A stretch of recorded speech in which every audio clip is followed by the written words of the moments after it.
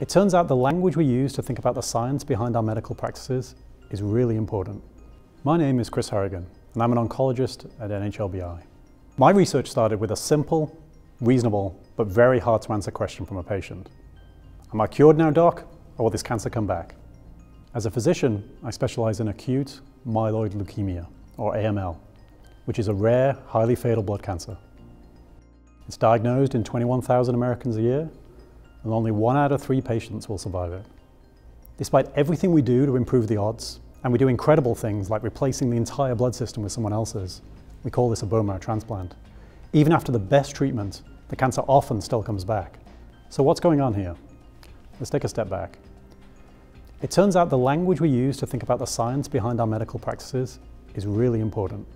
This cancer isn't coming back.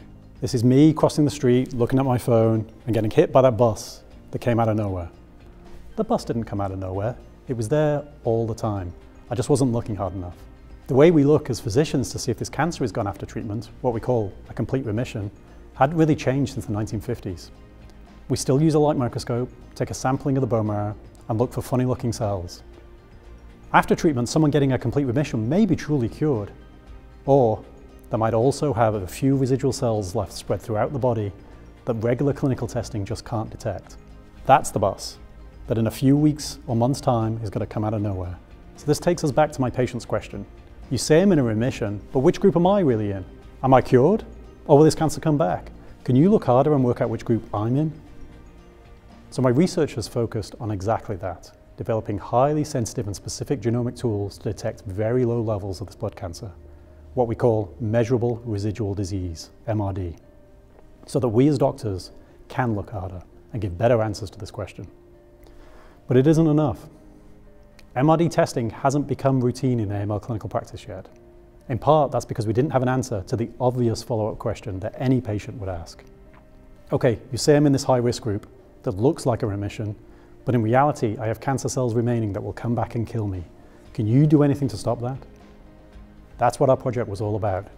It's not enough to know what's coming. We need to know, is this a fate that you can't escape? Or can we do something about it?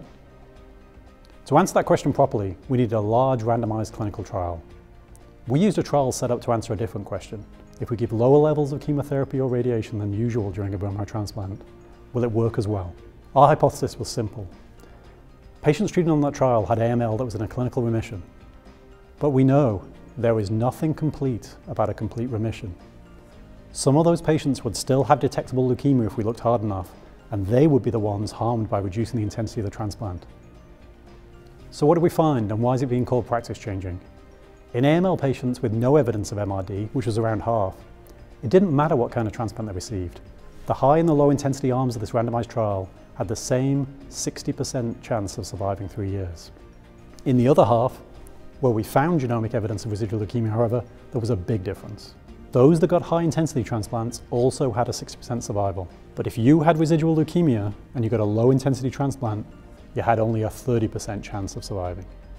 Ultimately, I came to the NIH because I wanted to use science to try to make medicine better. Now, oncologists like me can have a completely different conversation with our patients. They say, sure, you may be in a clinical remission, but if we look harder, we see you still have residual disease. They can also say now, for the first time, that we have good evidence this isn't just your fate.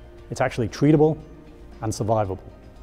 And that's what precision medicine means to me. It's knowing exactly what's going on with that person in front of you as an individual and knowing exactly how to do right by them. We aren't there yet, but I promise you, we'll never stop looking harder.